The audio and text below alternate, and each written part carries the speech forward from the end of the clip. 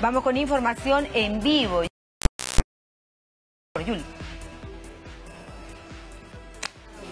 Yuli.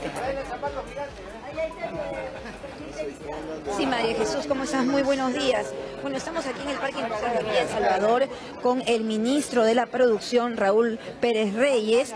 Él está asistiendo a la segunda edición de la feria Expo BES, una feria que reúne a los micro y pequeños empresarios de Villa El Salvador con lo último de la innovación tecnológica. Aquí hay más de 40 stands en este espacio donde los eh, empresarios están mostrando al ministro las eh, últimas novedades. Bueno, en este caso es un zapato gigante, ¿no? Pero que muestra la calidad de los productos que utilizan, de los insumos que utilizan los empresarios de Villa El Salvador. Estamos con el ministro Raúl Pérez Reyes para que nos dé alguna eh, visión de lo que está Ministro, ¿cómo está? ¿Cómo está? Muy buenos días. Estamos en directo para 7.3 Noticias y TV Perú Noticias. Ministro, muy buenos días. Usted nos contaba que usted también es eh, descendiente de una familia de emprendedores, que su abuelo vendía velas, luego pasadores, producía, velas y luego pasadores.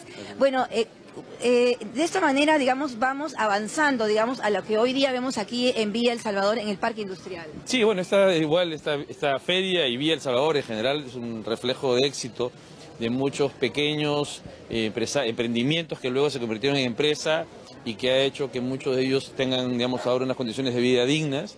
Eh, mencionaba el señor Huarcaya hace un rato que cuando ellos llegaron aquí esto era un arenal y que al principio, digamos, no había ni siquiera energía eléctrica. Lo que vemos al día de hoy es un parque industrial en el más propio sentido del término.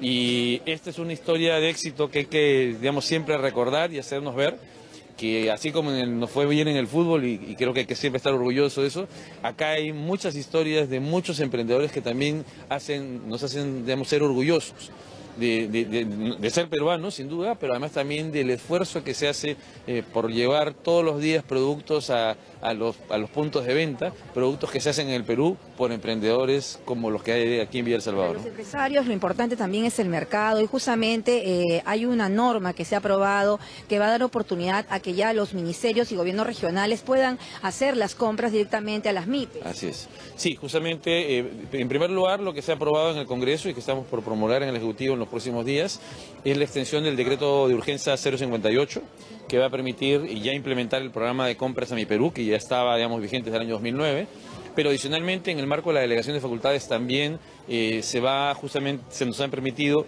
que eh, vamos, eh, extendamos este programa de compras a mi Perú de una forma institucionalizada, que ya no dependa de una extensión de un decreto de urgencia, sino que sea parte del programa de compras que tiene el Estado de Bienes y Servicios. ¿Qué otras cosas están haciendo a favor de las MIPES, ministro? Bueno, tenemos 53 programas que, con, que permiten justamente ayudar a la actividad innovativa pero lo que estamos haciendo es, eh, a través de la plataforma, digamos, del programa Tu Empresa, que es una plataforma de apoyo al emprendedor, vamos a inaugurar a partir de los siguientes tres meses y en el mes de diciembre tenemos que tener ocho locales a nivel nacional, justamente una plataforma que lo que permita es eh, recibir eh, a los emprendedores y no solo apoyarlos en términos de creación de empresa con los trámites administrativos, sino también apoyarlos en términos de gestión, de marketing, de mejora de procesos productivos, de, incluso de apoyarlos en la presentación de la información para las entidades financieras en cuanto ellos quieren acceder, digamos, a un producto, eh, a la compra de un equipo para poder, digamos, mejorar su productividad y su proceso productivo. En, otro en otro lado de, la información, también ya vamos al plano internacional, esta guerra comercial entre Estados Unidos y China ya ha sido declarada y ya se están aplicando justamente ya estas... Eh, aranceles, digamos. ¿De qué manera va a afectar al Perú? ¿Podría afectarlo? Mire, yo creo que en primer lugar hay una cosa que tenemos que tener claro, el Perú es un excelente ejemplo de cómo la apertura comercial puede hacer que un país no solamente eh, tenga mayor cantidad de productos importados, sino también pueda tener un éxito exportador. Nosotros es un país que hemos crecido en los últimos 25 años a una tasa de casi el 4.5% anual promedio y eso es reflejo de la apertura, en primera cosa. Eh, por lo tanto, como país nosotros apostamos por la apertura comercial y no por más bien medidas de protección.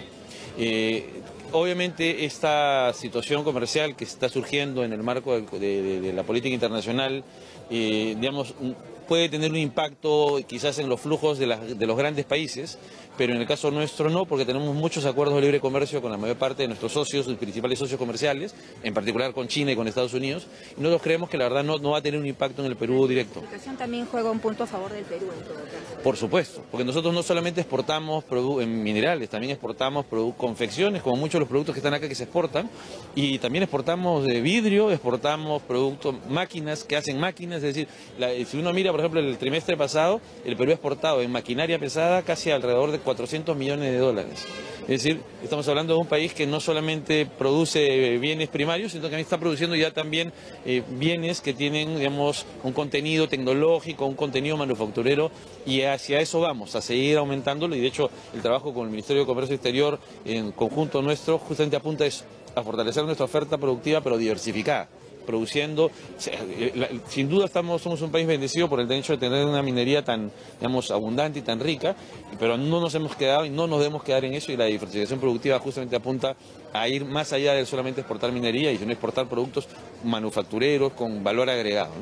Bueno, y en plano político también, eh, las últimas encuestas también eh, le piden a los ministros justamente que salgan más, que se les conozca más. En todo caso, usted que está viajando también en el interior del país y aún no está acá en Villa Salvador, bueno, va a seguir haciéndolo para que lo conozcan más. Sí, sin duda.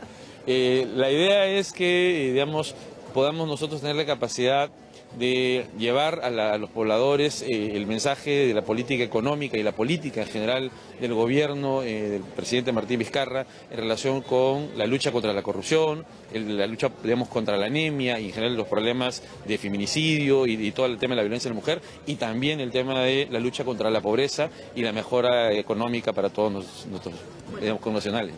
Bueno, muchas gracias. Bueno, nosotros vamos a continuar con el ministro acompañando también a los empresarios que se encuentran aquí en el parque industrial porque, como decíamos, hay varios productos eh, innovadores aquí. Tenemos justamente eh, muebles de eh, oficina también, tenemos otros productos como también carrocerías. Aquí tenemos también otros mobiliarios, bueno, una serie de productos